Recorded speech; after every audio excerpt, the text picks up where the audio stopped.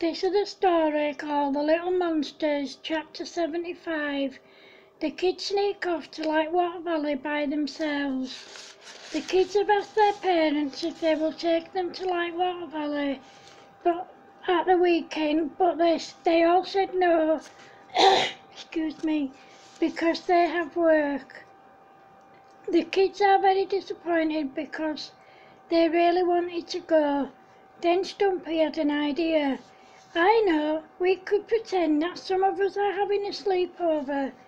You guys could say that you're staying at my house on Friday night and I can say that I'm staying at Grumpy's house.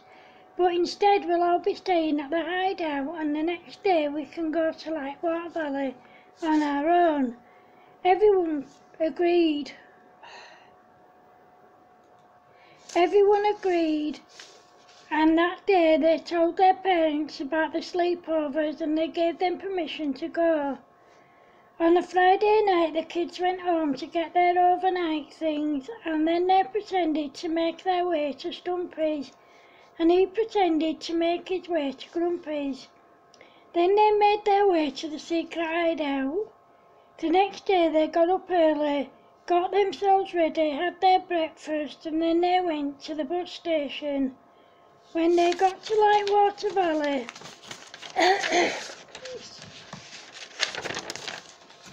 when they got to Lightwater Valley, they paid to go in, and then they made their way to the first ride that they wanted to go on, which was the ultimate. There was a long queue, so they decided to play some pranks on people. They pinched people's bums, pulled their hair and flicked their ears. When they got on the ride, they did the same thing to people. Once the ride started, they behaved themselves. Throughout the whole ride, despite the fact they'd never been on it before, they had their arms in the air. When the ride finished, they got off and decided to queue up and go back on again. This time, whilst they were queuing, they pinched people's bums hard flicked their ears, kicked the back of their heels, pulled their hair and put itching powder down their backs. Then they got on the ride and went round with their arms in the air again. Excuse me. When the ride finished, they got off and then they made their way to the pirate ship ride. As they were walking past people, they sneakily put fat sweets in their bags and pockets. When they got to the pirate ship, the queue was quite short and they didn't have enough time to play pranks on people. So they waited until the ride stopped and then they played pranks on people. They put itching powder down their necks, flicked their ears, pinched their bums and kicked the back of their heels. Then it was lunchtime, so they went and found a cafe and ordered some lunch. Whilst they were waiting for their food, they went round sneakily putting fat gas in people's drinks, putting soft fat sweets in their food and handing out their fat sweets. As soon as anyone ate their food, drank their drinks or ate their sweets, they started farting constantly, much to the kids' amusement. Then the kids let their toy rats go, causing mayhem. Everyone started screaming and climbing on their chairs. Then someone shouted, Calm down everyone, they're not real, they're toys. Everyone laughed and sat down to finish eating their food. Excuse me. The kids settled down and ate their food too. After lunch, the kids decided to go on the rat ride. The queue for this ride was really long, giving them plenty of time to play tricks on people. They got people to stroke their toy dogs and as they did so they came alive and bit their fingers. Then they got their toy cats out and when anyone stroked them their claws flung out and scratched them. Thankfully everyone thought that this was funny. Then it was time for them to get on the ride. When the ride finished they made their way to the waterlog ride. Again there was a long queue giving them enough time to play pranks on people. Excuse me. This time they sneakily put fat sweets in people's bags and pockets, put itching powder down the back of their necks, pinched their bums quite hard and pulled their hair.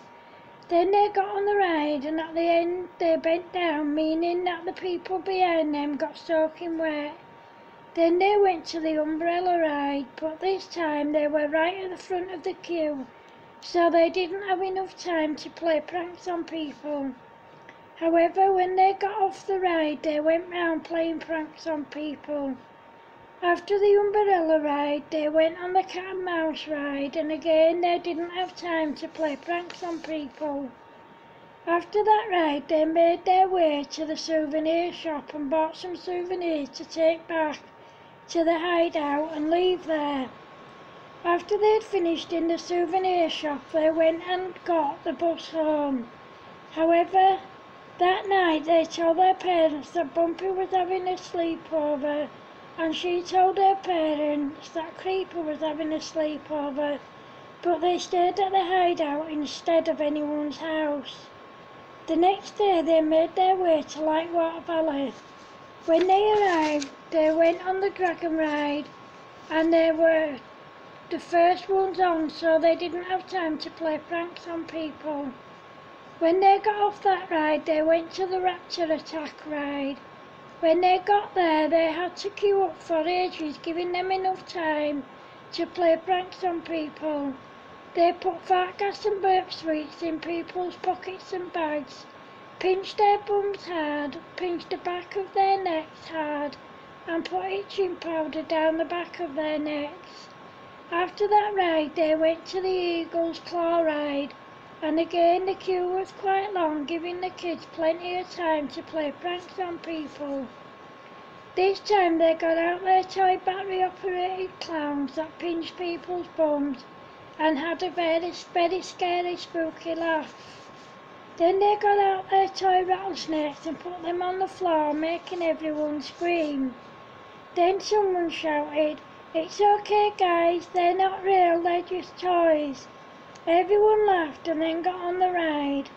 When they got off the Eagle's Claw ride, the kids made their way to the Ladybird ride. This time they were the first ones on, so they didn't have time to play pranks on people. They waited until they got off, then they played pranks on people. They sneakily put fat and burp sweets in people's pockets and bags, put toy spiders on their heads, making them scream pulled their ears hard, pulled their hair and flicked their ears. Then they made their way to the caterpillar ride. When they got there, there was quite a long queue, giving them enough time to play more pranks on people. They got their toy clowns out again, but some of the really little kids were scared of them, so they put them away. Then they put toy spiders on people's heads and shoulders, making them scream. They kicked people up their bums as they walked past and pulled their hair. Then they got on the ride and afterwards they made their way to the ultimate. What they didn't realise was that Kicker's older sister was also at Lightwater Valley and she'd seen them and called her parents. The gang had no idea that her and her friends were there. After the ultimate, it was almost time for the theme park to close, so they made their way to the souvenir shop to buy some more souvenirs to take to their secret hideout, and then they went up for their bus home. When they got off the bus in town, they spotted their parents and ran as fast as they could in the opposite direction, hoping that their parents hadn't seen them.